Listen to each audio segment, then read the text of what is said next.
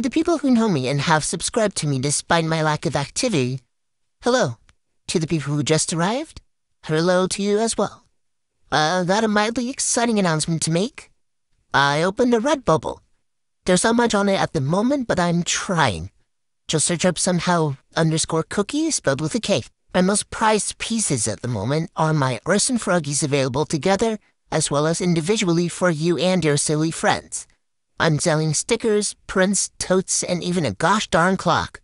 I'll be adding more as soon as I get my stuff together. I'm open to suggestions, but no guarantee that I'll turn them into reality. Either way, I'd appreciate it if you spread the message and checked out my Redbubble store. Thanks.